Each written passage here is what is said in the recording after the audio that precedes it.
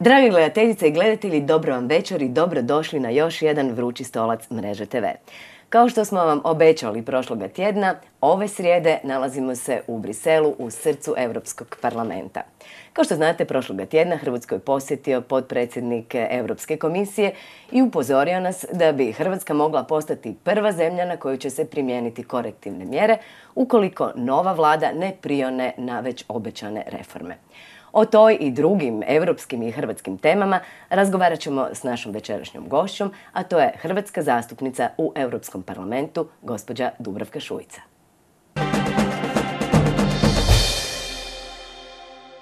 Dubravka Šujica je euro zastupnica. Čuo jesam za nju, ali slabo znadem. Dubravka Šujica je HDZ-ova europarlamentarka. Strašno mi je poznato, sad se ne mogu točno sjetiti ko je Šujica. Nije to glumica? Znam da je iz Dubrovnika. Gospođa iz HDZ-a u Europskom parlamentu. Puno priča i, i tako, nema niš konkretno. Pa ja osobno ovaj, ne ocjenjujem je pozitivno. Mislim da je solidna. Jedan istaknuti HDZ-ovac rekao da se žene ne bave politikom i ne uključuju u konzervativne stranke. Mislim da je to pogrešno. U HDZ-u većinu sve stari ljudi i ne daju mladima, kako će onda i ovaj ženskama. Jer su muške osobe očito jače kapaciteta nego što, nego što su žene. Općenito žena nema dovoljno u politici, a mislim da to nema veze sa HDZ-om. Oni bi pokazali svoju nesposobnost da ima više žena. Mislim da ima ovaj, dvije u Šujicu i još ne znam nekoga. HDZ mislim da ima šest zastupnika u Europskom parlamentu. Onda je morao maknuti tako da on može svoje položaje dalje širiti. Ako su već kažete najsposobniji, može zato što su najsposobniji. Bliže se izbori u HDZ-u, možda je to zbog toga, možda zato ne želi imati preveliku konkurenciju u stranci. Ja mislim da je Picula u Europskom parlamentu, ali on nije iz HDZ-a. Gospodin Plenković, gospodin Stier. Da, da, Plenković, Plenković, on je pravi političar.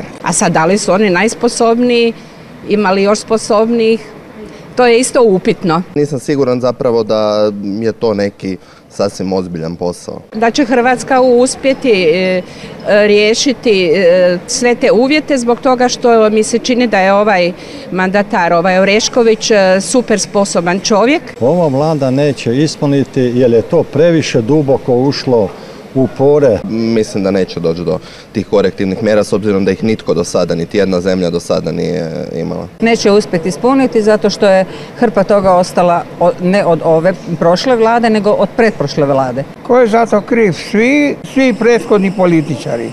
Nema veze koja su stranka, jer nisu se pripremili za to. Koliko sam ja shvatio, bivša vlada se bojala da će se dogoditi scenarij Grčka ako se primijene te nekakve mjere, tako da su odustali, a sigurno nije ova vlada kriva, ona je tek došla. Trebalo vremena i ovoj bivšoj vladi, a ovoj sad neću ni govoriti. Ova vlada nova sumnjam da će uspjeti, jer e, oni su upravo počeli traljavo. Ja mislim da te izbjeglice koje tako masovno dolaze da ih ne bi trebali primati. Ja mislim da će morati svaka zemlja braniti svoje, svoje e, interese. Pa izgleda da nema šanse da zemlje nađu zajedničko rješenje za izbjegličku krizu. Ako Amerika zajedno s Rusijom priđe tom problemu sa ciljem da ga riješe. Ta žica stvarno nije u redu, a sad kako napraviti sigurnost? Treba se znati gdje je Mađarska, gdje je Slovenija, gdje smo mi.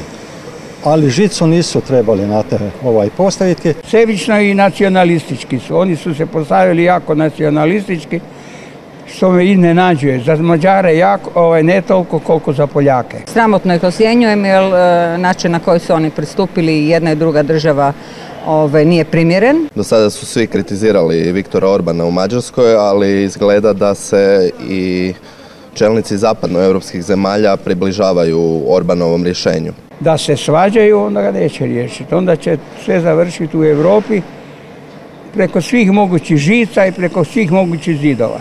Ja ne vidim da se oni mogu integrirati u naše društvo, previše smo mi različiti. Papa Franjo je rekao da svaki od tih izbjeglica ima neotuđivo dostojanstvo, a mnogi lideri koriste potpuno drugačiju, drugačije metode. Mi smo svoj posao u toj izbjegličkoj krizi ove, odradili zaista vrhunski. Gospođo Šujice, dobro vam večer i dobro došli na Vrući stolac Mreže TV. Osobito mi je drago što vas mogu pozdraviti ovdje u Europskom parlamentu. Dobro večer i ja se veselim što ste me pozvali u emisiju. Evo malo smo se smijali ovim odgovorima. bilo je svega i svačega. Evo, jedna gospođa rekla da misli da ste glumica, pa ne bi bilo loše. da, da. Ali ja namjerno nisam nabrojala sve vaše funkcije, jer doista imate jako puno funkcija. Jedna važna je naravno ona da ste potpredsjednica Hrvatske demokratske zajednice, ali ste isto tako i potpredsjednica kluba žena Europske pučke stranke, najveće i najjače frakcije u Europskom parlamentu.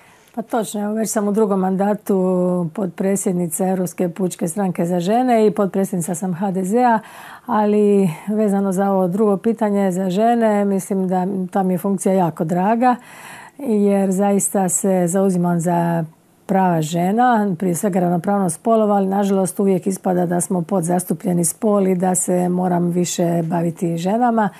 U svakom slučaju ne, ne bavimo se isključivo ženskim pitanjima jer ne želimo biti neke uvjetno rečeno feministice, bavimo se svim onim temama. U onom, u onom, drugom smislu, ali u dobrom smislu da. U dobrom smislu da. I bavimo se sve, svim onim što današnje žene e, tišti, koje probleme imaju, ali bavimo se i ženama u digitalnom svijetu i ženama nakon arapskog proljeća i svim temama. Cijelim nizom tema. Nizom tema. Ja, prije nego, ja ću se vratiti na ovo pitanje žene, jer to mene užasno zanima. Međutim, e, može samo da nabrojimo sve ove vaše funkcije unutar Europskog parlamenta. Netko ovdje rekao, mislim da to nije neki baš ozbiljan posao. ja mislim da vi dosta ozbiljno radite, samo o tome se dosta malo zna u Hrvatskoj. Pa moram tu zaista biti otvorena. Žao mi što se malo zna o tome u Hrvatskoj. To je preozbiljan posao i e, vrlo heterogen posao, ali i odgovoran. Konkretno sam ovdje u više odbora, a obzirom da je hrvatska delegacija relativno mala delegacija, pa ću vam to probati brojkama ilustrirati, imamo 11 nas zastupnika naspram 98 zastupnika iz Njemačke a onda unutar prema veličini zemlje, prema veličini zemlje i broju stanovnika, a istovremeno imamo e, prema političkim obiteljima, pa konkretno mi smo u Europskoj pučkoj stranci, gdje nas ima pet od 11 i bitno je pokriti što više odbora. To je gotovo nemoguće obzirom da postoji 20 odbora. I sad svako ima puno. I svako ima puno jer bismo željeli sve, sva pitanja nekako pokriti, bar teme koje se tiču Hrvatske prije svega, ali i ostale zemlje Europske unije nas također zanimaju. Tako da sam ja u odboru za zaštitu okoliša, punopravna članica, sigurnost hrane i zdravlje, ali sam i u vanjsko-političkom odboru, u odboru za turizam i promet, jer me to posebno zanima s obzirom na dio Hrvatske iz kojeg dolazim, ali i e, e, članica sam u odboru za ravnopravnost spolova. Onda su tu i delegacije za odnose sa državama, pa sam potpredsjednica za odnose sa Bosnom i Hercegovinom i Kosovom, pa sam e, zamjenica člana u delegaciji sa Sjedinjim američkim državama. Tako da je dosta tih poslova koje morate uskladiti. Mislim da nije baš jednostavno, a ujedno sam i predsjednica naše delegacije u Europskoj pučkoj stranci, tako da sjedim na tim sjednicama predsjednika delegacija svih 27 zemalja, s obzirom da 28. Velika Britanija nije članica Europske mm. pučke stranke. Da, to sam baš nedavno čula na jednoj tribini kad je gospodin Plenković rekao da mu žao da, da konzervativci nisu tu. Ajmo se vratiti ženskom pitanju jer je to također bilo evo, i postavljeno našim sugrađanima. E, Hrvatska se stvarno proslavila na ovim posljednjim parlamentarnim izborima e, i sve stranke, e, osim čini mi se Mosta, oni su bili dobri. Sve ostale stranke su radije pristale da plaćaju kazne oko kojih se sada i vode rasprave između Uskoka i Ustavnog suda, između Dorha i Ustavnog suda, ispričavam se, e, nego da imaju 40% žena na listama. Dakle, u Hrvatskoj je situacija tako da nikad nismo imali manje žena, kako vi to komentirate i kako je u Europskom parlamentu? Moram vam reći da sam potpuno na strani Ustavnog suda u ovom pitanju. Ali ću vam još nešto reći, niste spomenuli orah koji sad više niko puno ne spominje, ali oni su imali 1-2-1-2 pa nisu prošli na ovim izborima. Što mi govori da hrvatski građani uopće to ne prepoznaju i jako mi je žao zbog toga što se jednakost spolova nije dovoljno uh, shvaćena od naših birača. To je činjenica da zapravo birači bi bili honorirali onda tu stranku. Međutim, e, iskreno žalim što naše stranke, pa konkretno i moja stranka, nije nominirala veći broj žena na listama. Jednostavno takve su okolnosti, teren je, puno je zahtjeva. Čuli ste, kažu, možda bi se vidjelo koliko su muškarci nesposobni kad bi bilo malo više žena. Da, ne, ne želim, ne želim, ovaj, ne želim. Zapravo moj mm, konačni stav o ženama i, i uopće o ravnopravnosti spolova je da je prije svega kvalitet, e, vještine, znanje, ali kako sam e, što više starim, moram reći, premda su me ovdje su me stavili u staru generaciju, ja se još uvijek tako ne osjećam. Oprostite, gospođo Žujce, uopće odbijam tu pomisao. Da, u svakom slučaju sam sve veća pobornica kvota. To mi na početku nekog mog političkog djelovanja uopće nikad ne bih to prihvatila. Međutim, malo po malo shvaćam da e, su kvote jedino rješenje i žao mi je što je to tako, ali očito razina svijesti nije dovoljno visoka i zato se zalažem ne za, ne za 40%, nego za 50% koliko, nas ima na svijetu i mislim tako da bi trebalo biti. Nažalost, Nadam se da će ova prepirka između Ustavnog suda i DORH-a završiti u korist Ustavnog suda i, u korist sljedećih mandata. I neka plate stranke, ja sam za to. također se zalažem jer mislim da, da nije bilo mm. korektno prema nama ženama. E sad ovako, ja ću to morat pitati, e, ali stari grijeh. Ali sam samo nešto mhm. zaboravila reći, a to je za Europski parlament. Tu smo zaista napravili iskorak i dužna sam to reći. I na prvim izborima 2013. i 2014. smo kao stranka imali zaista veliki broj žena. Ja sam jedan pobila nositeljica liste, drugi put sam bila na drugom mjestu i bilo nas je više nego muškaraca. Tako da ipak kad su ovi izbori bili u pitanju uspjeli smo se izboriti za taj status. Međutim, komisija je mukom mučila sa ženama. Znam da se nudila bolje pozicije onim zemljama koje pošalju povjerenicu. kako je stanje inače u Europskom parlamentu? Pa 37% žena je u Europskom parlamentu, što je solidno, ali to je zbroj svih zemalja, znači ovisi o tome jel na Malti imate 8% žena, a imate u Finskoj i Švedskoj 50%. Tako da taj zbroj na kraju čini 37% i tu smo i mi kao Hrvatska doprinijeli, moram priznati. Dobro, barem negdje.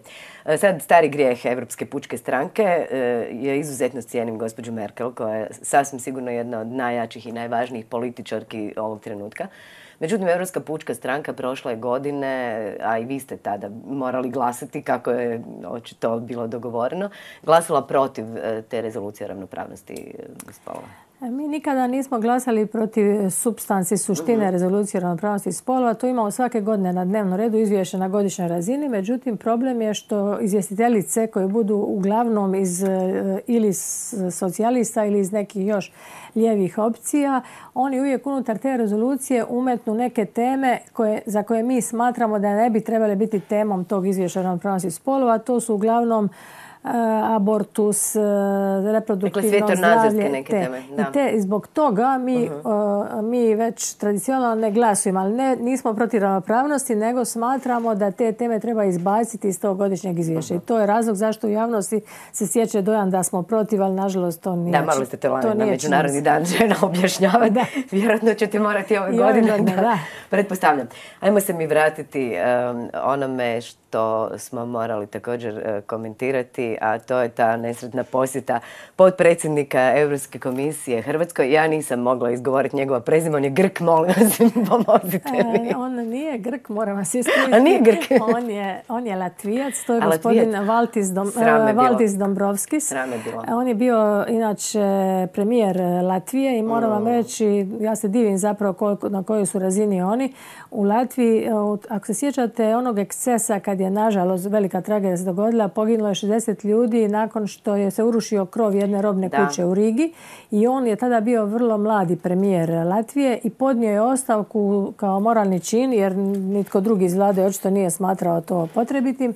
Nakon toga je ne znam koju je funkciju obnašao, došao u Europski parlament u zadnjem mandatu zajedno s nama i postao je predsjednik Europske komisije. Dakle, Valdis Dombrovskis. Evo, užasno me strah što sam to, nisam znala ni predmet, nisam znala ni čovjeka, ali došao u Hrvatsku i evo zaprijetio je e, jednom mjerom koja se do sada nije provodila.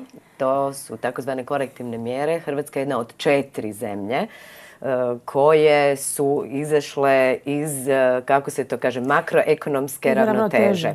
Francuska, Italija, Bugarska i Portugal osim nas, što bi uključivalo dakle, pokretanje tih korektivnih mjera, je li su to ozbiljne sankcije, koliko bi to u eurima nas koštalo, ajmo biti konkretni. Pa eto, njegova posjeta je koincidirala s tom takozvanom prijetnjom, ali to su činjenice koje stoje i bez njegove posjete. Mi smo bili u proceduri prekomjernog e, proračunskog deficita i hrvatska vlada je znala za to. Međutim, situacija je takva da uvijek političari djeluju unutar mogućnosti i pokušavaju interne zadovoljiti potrebe. Ovo je bilo predizborno vrijeme i vjerojatno vlada nije posegnula za svim mjerama za kojim je trebala posegnuti jer je mislila da će na taj način počeli provoditi te, jer to su te reforme. Šest, preporuka, šest preporuka mhm. počeli ih provoditi, neće naići na dobar odziv kod građana, odnosno kod birača. I to je po meni razlog zašto nisu pokrenute te reforme. Drugog razloga ne mogu naći i to je ogromna šteta. Moram reći da je očito sada trenutak, obzirom da je ova vlada došla na, na valu reformi, zove se, zove se ova uvjetno rečeno koalicijska ili nismo baš u koaliciji nego u suradnji, suradnji s Mostom. Zanimljivo Zovemo se reform, reformska vlada i ja sam uvjerena, evo i danas je bio posjet uh, gospodina Oreškovića Njemačkoj, gospođi Merkel i tamo su se na neki način tim razgovorima, ključ njihovih razgovora su zapravo bile reforme i svi očekuju reforme i mislim da je to ključ i opstanka ove vlade. Ja sam uvjerena da će vlada raditi na tome jer bez toga Hrvatska će zaista ući u tu proceduru makroekonomskih ravnoteža i nakon toga će ući u onu zadnju šestu točku, a to je ona najpogubnija točka koju nikako ne bismo želi da se dogodi Hrvatskoj, a to je da imamo kaznene poene i evo prema... manje novca iz europskih fondova. Puno manje novaca iz europskih fondova. To nikako ne bi bilo dobro. imamo 10 milijardi koje su pred nama eura koje smo dobili za potrošiti iz 2013. do 2020. Mislim da treba sada brzim koracima krenuti kako nam se ne bi do, 2000, do kraja ove 2016. dogodilo da uđemo u tu proceduru. Ja vjerujem iskreno da će biti malo popusta prema Hrvatskoj iz razloga što je nova Imamo vlada. šanse neke. Ja se toplo nadam, nemam nekakve, e, nemam nekakve jasne pokazatelje, ali mi se čini da će se to ipak rješavati malo više i političkim putem, da će se mhm. dopustiti Hrvatskoj da iskoristi to jer bi zaista bila ogromna šteta kad bi nam se dogodilo. Međutim, čini se da nisu svi projekti u fazi pripravnosti. To zapravo me tome najviše muči. Ja sam s jedne strane uvijek slušala naravno što su govorili političari, s druge strane jako vjerujem dopisnicima iz Brisela. To je moja stara boljka. I ja uvijek slušam što oni kažu, mislim da su oni odlično upućeni u zbivanja ovdje. E, ono što mi se čini da ta priča o povlačenju novca iz europskih fondova nije baš onako ružičasta kako se nastoji prikazati i da je problem doista da mi nismo pripremili sve projekte za tih 10 milijardi. evo, konkretno u ovoj godini smo trebali 900 milijuna eura povući, a sada je već očito da će to biti 400 milijuna eura, iz čega proizlazi da jednostavno nismo bili dovoljno spremni. A kako ovdje sve funkcionira ipak po nekakvim pravilima, teško da će se odstupati puno od pravila ukoliko jedino, kao što sam već prethodno rekla, ne bi novoj vladi išli, išlo se u susret s obzirom da ipak smo izgubili dvije, dva, tri mjeseca oko izbora i tako dalje. Tako da ja želim vjerovati da ćemo pogotovo kapitalne projekte, jer se radi o velikim kapitalnim projektima koje Hrvatska jednostavno mora pokrenuti, ne samo da bi potrošila taj novac iz fondova, nego da bi oni bili zamašnjak za razvoj gospodarstva, otvaranje novih radnih mjesta, jer otvorite jedno gradilište, automatski će se tu pokrenuti e, operativa i sve. To je ono što što je neophodno Hrvatskoj. Bez toga ćemo zaista ostati zadnja zemlja na ljestvici, a to nikako ne bismo željeli, s obzirom da je potencijal ogroman. Da, to je ono što ljudi zapravo ne razumiju. Mi doista imamo na raspolaganju tih 10 milijardi eura, ali ovisi o nama koliko ćemo ih apsorbirati. Ja ne želim opravdavati ni bivšu vladu, ali samo ima jedan po meni ima jedan problem, ako se sjećate cards onog e, sustava. Sjećam se, mi smo ga 80% iskoristili. Iskoristili smo ga, ali ti ljudi, to je bilo za obrazovanje resursa, odnosno za obrazovanje ljudskih resursa i kadrova koji će znati naučiti i pripremati projekte. U međuvremenu se dogodilo da je puno tih ljudi e, promjenama vlasti su izgubili svoje pozicije, plaće i tako dalje i malo pomalo su prešli u privatni sektor. I smatram da smo tu napravili, da je tu hrvatska vlada napravila bivša, napravila napravila ključnu grešku, jer bi da su ti ljudi koji su bili obučeni i obrazovani ostali u sustavu, neovisno kojoj političkoj grupaciji pripada, mislim da to je apsolutno nebitno. I tu nedostaje kontinuiteta. Pogledajte sve zemlje, pa čak i gradovi, županije, gdje god je bio kontinuitet vlasti, oni su imali veći napredak. Da, mi imamo veliku razliku u povlačenju fondova. Imamo neke županije koje su sjajne, neke gradove koji fantastično koriste fondove i to na vlastitu inicijativu. S druge strane, zapravo država sama ne brine o svim regijama jednako i svim gradovima jednako. Država bi željela brinuti, ali jednostavno ima neke hendikepe zbog čega ne uspjeva. Ja vjerujem da će ovo novo ministarstvo i novi ministar kao mladi čovjek koji je odlučio ovoga puta biti e, zapravo, da njegovo, ministarstvo će biti krovno ministarstvo, što do sada nije bio slučaj i on će koordinirati rad svih ministarstva. I tu nalazim neku vjeru da ćemo ipak e, uspjeti povući sredstva. Dobro, evo ja, ja se isto tako nadam. Sad vas moram lokal patriotski pitati. Pelješki most. Pričamo, pričamo, pričamo. Pa dobro, gospođa je rekla da, da puno pričam ili gospodin koji je rekao stvarno sam se napričala Pelješkom mostu, skoro mi postaje neugodno, moram vam reći. I više ljudi u drugim krajima Hrvatske aplaudiraju toj priči o Pelješkom mostu nego u Dubrovniku. Jer u Dubrovniku gotovo nitko više ne vjeruje da će se to realizirati. Ja sada želim vjerovati jer e, očito da aplikacija ide i prema riječima novog ministra Butkovića ja vjerujem da će do kraja godine se ta aplikacija uredno predati i da ćemo više od 75% sredstava dobiti iz fondova. Razgovarala sam i s, e, povjerenicom Kretu koja me uvjerava da ćemo ići u tom smjeru. Međutim, šteta je što smo tri godine, zaista smo izgubili tri godine u provjeravanju treba li nam koridor, trebaju li nam pontoni, treba li nam tunel. Definitivno smo odlučni oko mosta i mislim da tu više nema nikakvih dvojbi i zbog e, fizičkih razloga da se Hrvatska poveže, ali i zbog simboličkih. Jer mi smo zaista dole na dnu Hrvatske koliko god djelujemo lijepi. Koliko god bili bogati, sve bogati i sve popularniji. Ali, osjećamo se, osjećamo se ipak odvojeni Ja se slažem, treba naravno i taj autoput e, dovršiti. Ja mislim da ste to isto zaslužili. Ovaj, jer onaj dio od ploča prema dole Tih 90 km je zaista šteta, i ja mislim da će to biti dio Jadransko-Jonske autoceste, da ćemo konačno se naći na europskim koridorima i da ćemo to završiti. Naša uloga ovdje je to zagovarati. Evo, u posljednjim minutama prije nego što napravimo prvu pauzu, gospođo Šujica, moramo prokomentirati ovo što doista muči Evropsku uniju već dulje vrijeme. Nešto što prijeti jedinstvu Unije, velika kriza, izbjeglička kriza. Čuli ste i kako ljudi komentiraju i e, žilet žice i, i naravno obranu granica, uspostavu Schengena. Vi ste ovdje u srcu događanja. Kakva je atmosfera? Najprije ću reći moj osobni stav. Ja sam potpuno protiv žice. Inače smatram da je naša žica trebala biti ispravna registracija i korištenje dublinskog pravila. Ali u trenutku kad su svi to pravilo zanemarili, onda i Hrvatskoj ne preostaje ništa drugo i moramo braniti svoju vlastitu granicu i našu nacionalnu sigurnost. Međutim, jedino rješenje je obrana vanjske granice Europske unije, to je ovoga puta Grčka. Ne Grčka Makedonija, nego Grčka Turska. Sve je poduzeto, ali zaista neki dan je naš predsjednik kluba gospodin Weber rekao i ja se potpuno slažem s njima, zaista je došlo do velikih nacionalnih nacionalnih egoizama i, i pomanjkanja solidarnosti kod nekih zemalja koje su nama i prijateljske zemlje. Ali neki zemalja Europske unije koje ne žele ni pod koju cijenu pod koju cijenu e, prihvatiti ovaj princip solidarnosti i odgovornosti na čemu je sazdana Unija. I mislim da je tu zaista veliki problem. Svi mehanizmi postoje. Dakle, odlučeno je oko 3 milijarde e, eura pomoći Turskoj. Odlučeno je oko PNR direktive za e, dakle, e, registraciju putnika. Imamo sve mehanizme koje je donijela komisija, Europski parlament, samo se one nažalost ne primjenjuju.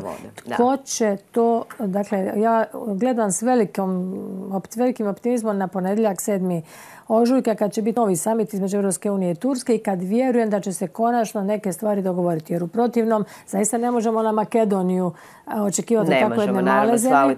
Ali i Grčka sama ne može. Znači, slažem se da idu naše snage pomoći policijskim snagama i stoga me ne smeta ova najava promjene zakona o o obrambenim snagama iz razloga što zaista moramo moći pomoći ostalim zemljama. To je ta solidarnost. Što bi drugo bila solidarnost? Čuli ste isto komentar da je Hrvatska zapravo svoj dio dobro odradila, da smo pokazali humanost i da smo Pa ja mislim da na je- lijep način prihvatili. Ja mislim da je to bilo solidno, osim nekih grešaka u početku, a početku, to su da. bili odnosi sa Srbijom, Srbijom, Mađarskom da. i to je bilo loše oko onog, oko onog vlaka i oko onog transporta kamiona, ali mislim da je taj prolaz kroz Hrvatsku solidno odrađen.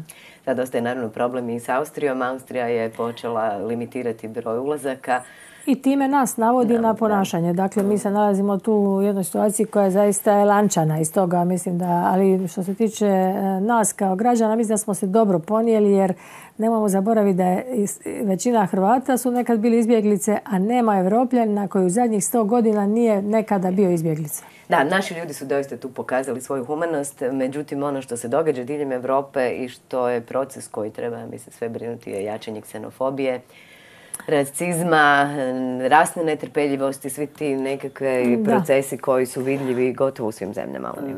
Tu- Možda je ovaj migrantski val to pokrenuo, međutim to je već postojalo unutar europskih zemalja. Vi vidite koliko jačaju populizmi i lijevi i desni. U Njemačkoj imate ovu alternative für Deutschlandu, imate u Grčkoj, Španjolskoj neke lijeve opcije.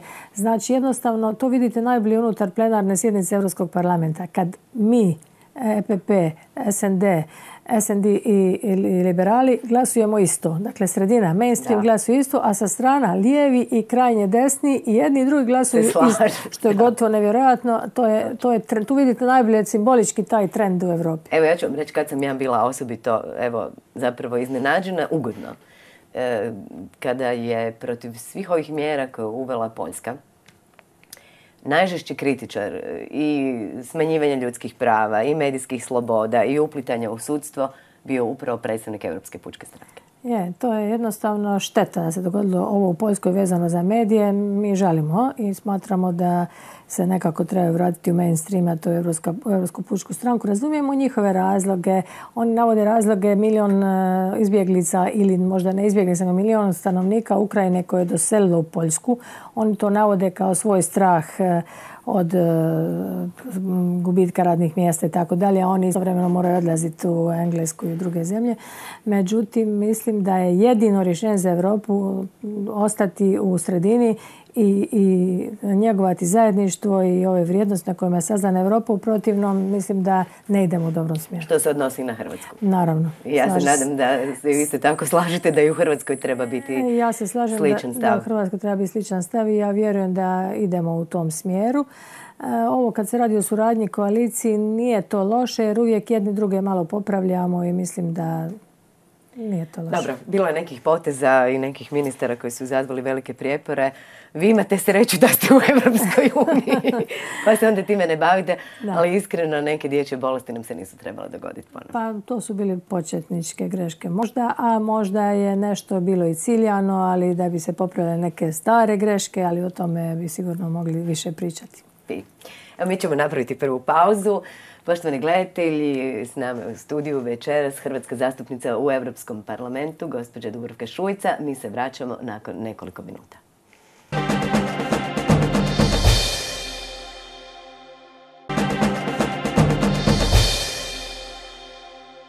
Kako oni tamo surađuju među sobom? S obzirom da smo mala država imamo mali broj glasova u Europskom parlamentu. Imali su nekih inicijativa oko Bosne i Hercegovine, ali što su to toliko fantastično napravili, ne znam. Mislim da dobro surađuju. Vjerojatno tamo se moraju skupiti da bi mogli biti jači zajedno. Oni se ujedinjuju samo dotle dok imaju interesa. Ali ja mislim da koliko mogu da surađuju. Možda im je ugodnije raditi, imaju veće plaće, pa eto. Pa ova dvojica dobro, Plenković i Picula, oni su spremni da pomognu državi, ali to se mora i ovdje imati podlogu. Zato što su oni tamo jedan krug ljudi koji zajedno živi, zajedno radi i nemaju pritiske ovaj, od kuće. Pa se lakše mogu dogovoriti. A i ono znanja što ima, to se koristi samo u ciljeve raz, raz, raz, razilaženja, nadmudrivanja. Tamo gdje je lijepo i teče med i mlijeko, tamo se lakše naprave dogovori. Vlakušić je bio bolji, da do gradonačelnik Dubrovnika. Pa meni se ni jedan ne dopada, ja bi nekog trećega. Da su jedan i drugi napravili za Dubrovnik puno. Ja mislim da je ipak Vlahušić bolji bez obzira što ga ovaj što su ga sad tamo ocrnili. To bi trebalo pitati Dubrovčane, ja stvarno ne bih išao toliko da procjenjujem lokalne politike. Šujica je bila načelnik koja je slušala sve direktive od HDZ-a. To ne znam da li pričaju ovdje jedno, a drugo tamo. To svi oni radi. Europa parlamentarci i ovi koji su kod kuće pred kamerom kaže jedno, a radi se drugo. Drago mi je da su europarlamentarci svi ovako artikulirani, ozbiljni ljudi. Ovdje sasvim drugčije se gleda, a kad se dojde tamo onda ne mogu, jer tamo je opet drugčiji pristup svemu. Ne znam koliko je važna uloga tog Europskog parlamenta i koliko oni tamo imaju stvarno utjecaj na, na Hrvatsku, a ne znam, nisam primijetio da pričaju različite stvari. Oni koji su kao od Boga čuvani na vrhu, da se mogu dopustiti sve i da misle da je narod blesav. Ali nažalost imaju tu sreću da naš narod jako kratko pamti. Ja mislim da će se Evropska unija raspast, pogotovo ako Velika Britanija iz nje izađe. S tim što je Velika Britanija Velika Britanija.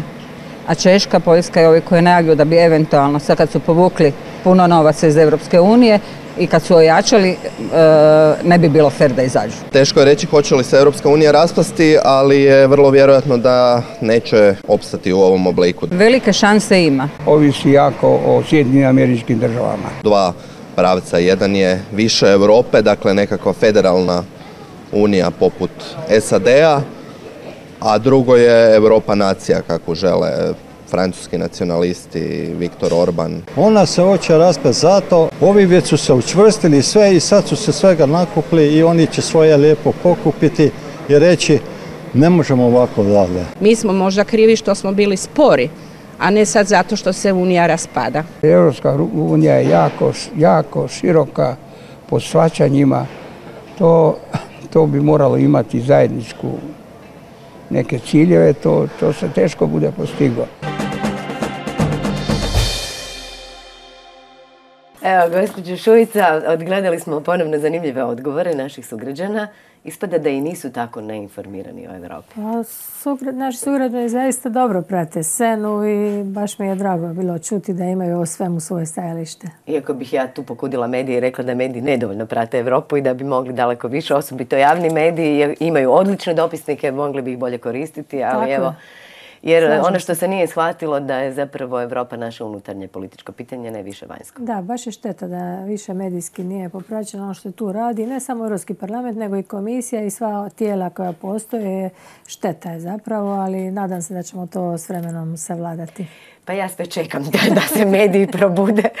Ono što je zanimljivo bilo iz ovih odgovora čuti je da su svi procijenili da naši europarlamentarci bez obzira na stranačku pripadnost odlično surađuju u Europskom parlamentu i da je to vama tu lakše jer nemate pritisak od svojih stranaka a i teče med i mlijeko, pa mi je super. pa ne bi baš rekla da teče med i mlijeko, ali isto tako mi nemamo formaliziranu suradnju, to želim objasniti, nego jednostavno se nameće suradnja sama od sebe. Mi djelujemo unutar naših političkih obitelji, ali kad je neko pitanje koje se tiče Hrvatske, mi i neformalno i formalno se dogovaramo jer smatramo da smo tu zbog hrvatskih građana, iako kao što znate Hrvatsku predstavlja premijeru i ministri u Europskom vijeću, a mi predstavljamo direktno građana građane jer smo izabrani direktno od građana i stoga smo dužni odgovarati na njihove zahtjeve i to je jedan od razloga zašto nismo izabrani e, na listama nego na jednoj listi za cijelu Hrvatsku i to je velika razlika i stoga smo odgovorni ne samo za Hrvatsku nego za svih 500 milijuna građana Europske unije. E, osim na hrvatskom pitanju, vi ste surađivali dosta i na Bosni i Hercegovini, organizirali ste i dosta e, i konferencije okruglih stolova i evo, Bosna i Hercegovina predala zahtjev. Bosna i Hercegovinu smatramo brojem jedan, dakle prioritetnim vanjsko-političkim pitanjem Hrvatske i stoga se uklapamo u hrvatsku politiku, neovisno je li jedna ili druga opcija na vlasti, jer nije nam svejedno ko se nalazi na vanjskim granicama Hrvatske, odnosno sada vanjskim granicama Europske unije, bez obzira što nismo u Schengenu, više od tisuću km granice nas dijeli s, Evropskom, s Bosnom i Hercegovinom i strašno nam je stalo da se stanje tamo stabilizira. I zbog sigurnosnih razloga, i zbog trgovačkih i svih ostalih. I važno nam je da sva tri naroda i manjine koje tamo žive budu jednakopravne. Tu posebno mislim na Hrvate u ovom trenutku, jer nekako je bilo da su Hrvati malo zapostavljeni i mi želimo našim djelovanjem na neki način prikazati i osvijestiti i ovoj europskoj javnosti o čemu se radi. Ja vjerujem da smo u tome dosta doprinijeli i uspjeli. Sporazum o stabilizaciji i pridruživanju stupio na snagu i koordinacijski mehanizam je također uspostavljen. Mislim, to neće biti brzo. Jean-Claude Juncker je rekao za vrijeme ove komisije nema novog proširenja. Međutim, ovo je dobar poticaj sigurno samoj Bosni da se unutar sebe vjerojatno reformira. Da je izvrsan je to potez jer su i oni shvatili da nema drugog izbora. Znači, jedini izbor je Unija iza njih i ja vjerujem da u tom smjeru idu i mi maksimalno pomažemo koliko imamo na raspolaganju mehanizme. I sad jedno pitanje koje se nastavlja na ovu vašu odličnu suradnju e, europarlamentaraca, to je da su se sve stranke lijepo riješile svojih najboljih ljudi, poslali su vas u Brisel. Tako pa. da im se ne miješate u njihove unutar stranačke priče i recimo ove predizborne kampanje koje su krenule. Vidite, ja ne bih to tako rekla, s obzirom da vi morate znati smo dvoje izbore, konkretno kad se radi o našoj stranci i našoj koaliciji i 13. i 14. smo pobjedili sa po šest mjesta na listi, baš zato što su liste bile jako dobre. Jer nije svejedno tko je na tim listama, to je bila jedna lista za Hrvatsku i ja smatram da baš zato što su bili jako dobri ljudi na našim listama, prepoznatljivi, artikulirani ljudi koji su se bavili vanjskom politikom, ljudi koji su se bavili europskim integracijama od samog početka su na tim listama a i tu je bilo, kao što sam na početku rekla, dovoljno i puno žena i stoga smo jedan i drugi put pobjedili. Ja mislim da je to odlično za Europski parlament. Se... Šteta je za stranke jer bi možda bolje funkcioniralo unutar Hrvatske, a možda bi i sadašnja predizborna kampanja unutar stranačka malo civiliziranije izgledala. Pa mi se ne smatramo odvojenim, ja vam to želim reći. Možda vi to tako gledate, ali mi se ne smatramo odvojenim, mi se smatramo dijelom Hrvatske političke scene i bez obzira što mi jesmo fizički 3-4 dana u Briselu tijekom tjedna i u Strasburu, mi pratimo zbivanja i ne želimo biti odvojeni dio naših stranaka. Gospođo Šujica, ono e, na što bih vas ja ipak htjela nekako navući e, jest evo, taj, to nekakvo kretanje u desno. Dakle, meni se čini da je Hrvatska demokratska zajednica u procesu pristupanja Hrvatske Evropske unije dostigla jedan e, standard, europski standard. Jedne demokršćanske umjerene stranke koja je zastupala određene vrijednosti, ali nikako nije išla u ekstreme. Ono što mi se čini u posljednje vrijeme, naročito izborom nekih ministara, da se krenulo u ekstreme koji nam ne trebaju. Pa slušajte, mi se držimo te srednje struje, srednje e, linije koje sam vam već u početku govorila i ne vidim da bi to bilo nešto jako desno. Ne znam na koje, mislite... Mislim na ministra kulture konkretno. ministra kulture. E, on je jedna vrlo osebujna ličnost i ja smatram, da, ja smatram da će on taj svoj posao dobro obnašati. Imao je par dobrih poteza. Pa dobrih postav, ali su možda zamagljeni nekim drugim e, nekim retorikama iz njegove prošlosti. Koje, ne može naprosto povući. Da, koje su, možda su fragmentarno izvađene. Ja nisam čitala sve te detalje. ali konkretno ovdje mislim kad se radi o, financiranju NGO, e, kad se radi o nevladinih udruga, ja sam tu dosta na njegovoj strani, moram vam reći, jer puno je bilo tih udruga koje su se financirale i živjele na tom novcu, a zapravo nisu taj novac opravdali ja, ne znači... ja zaista taj dio niti ne smatram problematičnim. Ja, evo, ja kao netko koji je potpuno sa strane mislim da uh, Hrvatska demokratska zajednica ima dovoljno kvalitetnih ljudi sa područja kulture koji su mogli odraditi uh, taj posao bez ikakvog prijepora u javnosti. Dakle, netko ko bi bio prihvaćen uh, vrlo široko i netko ko je doista čovjek iz kulture. Dakle, mi imamo problem da je na mjestu ministra kulture netko ko nije prepoznat u kulturnim krugovima. A mogu vam ja na to odgovoriti da, pogledajte, molim vas, povjerenike Europske komisije. Dakle, povjerenik Europske komisije nakon pet godina može biti ponovo povjerenik, ali za sasvim drugo područje. Dakle, čovjek je političar, ako je političar, vi ne morate biti iz kulture. Vi ne morate biti inženjer građevine da biste bili ministar graditeljstva. Gospodin Hasenbegović nije političar. Ne znam jeste me sve jesam, jesam. Ako ste političar možete se prilagoditi, ali gospodin Hasenbegović nije članovi, Članovi e, vlade su prije svega političari. A, bez obzira smo mi rekli da će biti stručnjaci, ali nastojimo kombinaciju jednog i drugog. Dobro, ja znam da sad ulazim u prostor ovog unutar stranačkog e, prijepora u kojem, nažalost, i članovi drugih stranaka ne mogu baš previše govoriti. Evo, ja, ja ću ovdje stati. E, mislim da, naravno, bi bilo bolje da do takve situacije nije ni došlo. Međutim, ajmo se vratiti još jednoj temi koja je bila ovdje u anketi, a to je bila suradnja, odnosno e, konkurencija između vas i gospodina Vlahušića, e, gradonačelnika Dubrovnika. Neki su rekli da ste jedan i drugi dobro radili za Dubrovnik i neki su rekli da ste vi bili bolji, da on bio bolji. E, vi ste imali razne faze u, u svojoj političkoj e, i suradnji i svađi. Meni je to, meni inače vrijeme mojih, moja dva mandata, osam godina na čelu grada Dubrovnika drago razdoblje iz mog političkog života. Naravno da sam to jedan mali grad, zanimljivi. Dubrovnik je uvijek bio poseban i ekstra, pa i ta naša suradnja unutar grada nastojali smo... Osebujna. Na, osebujna nastojali smo surađivati kad je god to bilo moguće. Bilo je i nekih loših trenutaka, međutim e, to je tako u politici, to je tako kad, se, kad imamo drugačije stavove. Međutim, Ali na kraju ste završili zapravo na, na zajedničkom bili smo, bili smo u jednom dubrovačkom dogovoru u nekoj, u nekom, nekoj godinu, dvije dana. I mislim Suradnju unutar vijeća. nije bilo loše za Dubrovnik, zato što Dubrovnik e, mora ići naprijed. Kao što smo rekli, malo prije odvojeno od Hrvatske, sam na jugu i nama zaista treba suradnja. I Dubrovnik je uvijek imao, bio, imao iskorak i ovog puta je to bio jedan iskorak. E, sada se isto, premda to nije toliko možda vidljivo i ne zove se tim nazivom, ali dalje se surađuje s obzirom da gradsko vijeće, gradski vijeće upravlja HDZ, a gradonačelnik iz druge stranke. To je isto bilo i u tom trenutku. Ne ne htjeli, moraju. Samo su se promijenile figure, a zapravo je, zapravo je ostalo sve slično. E, naravno da bi ja puno stvari odradila na drugi način. E, gospodin Lakšić isto je poseban malo, on možda malo ide više prema komercijalizaciji. Da, to sam vas htjela pitati. Da li vas to smeta? Vi ste rođena Dubrovkinja. Njega su osobito kulturnjaci optuživali zbog te komercijalizacije kulturne scene. Znate što ću vam reći? Uvijek, kad sam ja bila djevojčica, u Dubrovniku su snimali filmovi. U Dubrovniku smo mi bivali statisti to nam je bio glavna Dobre, fora. dio nije loš. Rad zvijezda.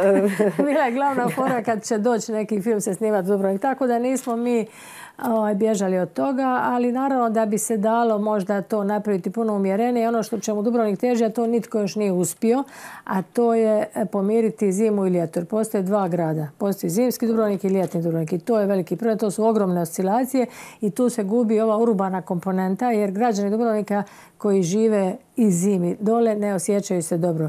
I tu je ključni problem. To nitko do sada nije uspio riješiti zbog e, tu, to takozvano produljenja sezone. Nadam se sada uvođenjem nekih novih e, aviolinija da bi mogao Dubrovnik postati i zimska destinacija i na taj način bi se e, nekako izvršio balans između ljeta i zime. I kad dobijete filmski studio, onda će samo filmske ekipe dolaziti dole. Ma, znate što, treba imati ciljeve, pa bolje je nešto sanjati, bolje je raditi planove, pa će se nešto od toga ostvariti. Najlakše vam je živjeti u letargiji i ništa ne mijenjati. A ipak mi grad želimo očuvati, ali ne želimo da postanemo kulisa. To ne želimo, isključivo kulisa, niti poligon za nekakve šetnje, ali istovremeno mislim da treba iskoračiti s nekim novim sadržajima kako bismo danas i moderne turiste mogli privući. Ja ima puno tema oko Dubrovnika. Ja znam recimo da je stari dio grada gotovo prazan e, po zimi, da je to, vrlo tužno i da zapravo tu se jako mm, puno To je šteta, ali, taka, ali znate o čemu se radi? Radi se o tome da i građani ne žele biti građani drugog reda i žele živjeti u uvjetima koji su dostupni svim građanima u Hrvatskoj. Vi kad ste u staroj gradskoj jezgri imate neke restrikcije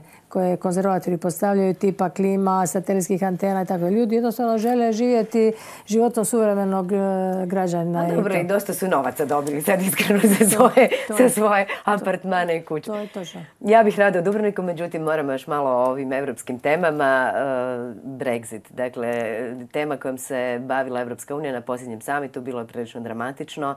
E, vijećalo se do ranih jutarnjih sati i evo naši građani kažu evo Britanija uvijek ima neku posebnu poziciju pa i ovoga puta ja bih se kladila na to da će rezultat referenduma biti pozitivan i da će e, Britanija ostati unutar Unije.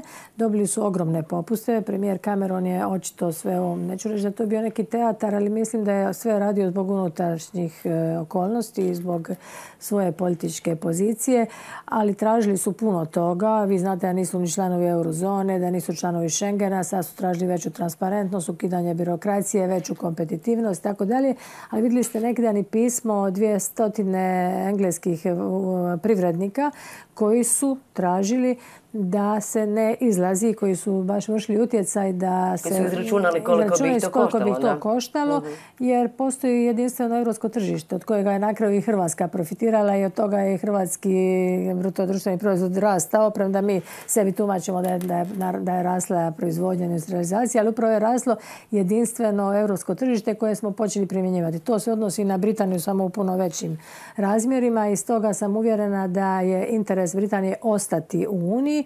Naravno, rade im se ustupci i mislim da su ovo zadnji ustupci jer nije korektno prema ostalim državama. Dobro, naš premijer je rekao da misli da će od tih ustupaka imati koristi druge e, članice, pa i Hrvatska. Pa ja se E, nadam. oni koji se slažu sa Britanijom su u velikoj mjeri i Česi. Češka je i ovaj, u onim izglasavanjima Lisabonskog sporazuma, kako se ja sjećam, bila na strani Britanije. Česi, a i ovi drugi iz e, Višegradske skupine, Skupine, nekako da. su skloni takvom razmišljanju. Međutim, ne vjerujem da će, ne vjerujem da će iti jedna zemlja na kraju imati nakon referenduma ukoliko ga organizira da će biti izlazak iz Unije. Ipak smo tu nekako zajedno, ipak su tu zajedničke vrijednosti, ipak je tu, pa ako ćete i NATO pakt i sve pitanje sigurnosti. Dakle, naš je interes da stojimo zajedno. Ja vjerujem da će to tako i biti. Evo, ja se isto tako nadam, bilo bi, bilo bi ipak šteta da nakon tolikih godina i muka koje smo prošli, da uđemo u Uniju, da se oni sada raspadnu, to bi bila loša šala. Evo sad smo mi ušli i sad će se Da, mislim Ja da su da mm, potrebne su uh, rasprave i rasprave se vode i sljedeće vijeće, ne ovo 7. u ponedjeljak, nego sljedeće 17. i 18. ožujka će ponovo tu imati temu, ali ako ne pokažemo da smo u stanju riješiti problem migracija, onda se postavlja zaista pitanje našeg opstanka. I stoga mislim da moraju sve zemlje shvatiti ozbiljno i da Europsko vijeće mora se riješiti tih egoizama i prihvatiti određene kvote i sve ono što, na, što smo prihvatili samim I. Hrvatska je prihvatila u krajnjoj E, liniji. Mi smo svoju, nama je dodijeljeno 6,5 Da, tisuća. nama je dodijeljeno relativno malo i mi smo se borili za to i stojimo na tom stajalištu, pa i Europska pučka stranka na stajalištu da sukladno bruto društvenom proizvodu, broju stanovnika, dakle broju nezaposlenih, da, da sukladno tome ta formula ide, a kako smo mi tu dosta loši i najloši, tako nas i pripada relativno mali, mali broj. U tom broj. smislu bit će i tema, zapravo tema ovogodišnjeg Međunarodnog dana žena, Europskog parlamenta su žene izbjeglice kao posebno osjetljiva kategorija i seminar će biti ovih dana. Organiziramo u četvrtak e, tri radionice na tu temu, ali posebno žene izbjeglice i posebno osjetljivost djevojčica i žena. Ja sam nedavno, prije dva tjedna, bila u posjetu u Minhenu u jednom izbjegličkom centru. Moram vam reći to baš u srcu Bavarske, gdje znate da imaju različita stajališta između CSU-a i CDU-a i CSU je puno kritičniji u odnosu na CDU i kritiziraju čak i kancelarku Merkel. Ja sam se zaista oduševila način na koji je organiziran život u tom izbjegličkom nasilju, na koji način oni tretiraju e, žene, a posebno nakon događaja u Kelnu, koji su zaista eskalirali. I mislim da nas e, asociraju na sve ono što trebamo napraviti u borbi protiv nasilja nad ženama, pa je i to jedna od e, tema od radioni, ovih radionica u susret 8. martu odnosno 8. 8. ožujku Međunarodnom danu žena. žena. I mislim da je šteta i loše da o tome govorimo samo jedan dan godišnje. Trebalo bi malo više o tome razgovarati i bilo bi dobro kad bi o tome muškarci razgovarali pa bi onda i mi bile vjerodostojnije. U protivnom izgleda da se same borimo za svoja prava. To nije Da, dobro. evo ja, ja se nadam da će barem ovo što se ne događa samo u Europskom parlamentu, nego i u Hrvatskoj, da će potaknuti te neke rasprave, iako se to nama iz naših perspektiva čini dosta daleko. I posljednje pitanje na samom kraju. Gospođo Šuica, premijer je prvi puta i sudjelovao na e, samitu. Rekao je da se osjeća promjena klime prema Hrvatskoj, da će doći više investicija. Pa Imate li vi taj dojam? Ma moram reći da imam dojam, znate zašto? Iako sam- ove financijske agencije nas baš nisu ovaj, pohvalile Da, i previše. neće, možda se to ne vidi po nekim pokazateljima statističkim i matematičkim. Međutim, činjenica sam ovdje to razumjela od kad sam u Europskom parlamentu da je najvažnije od svega je povjerenje. To je bitna riječ, pa čak i za rast nekih ekonomskih pokazatelja. Nisam to mogla vjerovati, ali je očito povjerenje. Znači, e, premijer, nadam se da uljeva povjerenje svojim i kurikulumom i načinom na koji je prihvatio ogromni izazov, jer mislim na, na ovaj način prihvatiti i voditi Hrvatsku trebate Da, zaista biti hrabri i ja vjerujem da. će uspjeti u tome. Da će biti good, good, good. nadam se, pa čak, čak se i sam našalio na taj račun. Dobro, evo, čekam ga. Čekam ga, ja bih rada zbog svih nas da nam konačno bude bolje. da, Gospođo Šujica, hvala vam najljepša. E, ja vam želim da se nastavite boriti za prava žena u Europskom parlamentu. E, želim vam puno uspjeha i nadam se da ćete i dalje raditi na dobrobit Hrvatske zajedno sa svim svojim kolegama iz svih e, hrvatskih strana. Hvala vama na pozivu u emisiji. Nadam se da ćemo nastaviti surađivati i dalje. Apsolutno Mreža TV vrlo rado prikazuje sve što stiže iz Europskog parlamenta. Hvala vam puno. Hvala vam lijepo. Poštovane gledateljice i gledatelji, bilo je to sve večeras iz Brisela. Gledajte nas i sljedeće srijede u 20 sati i 5 minuta i naravno ostanite uz program Mreže TV.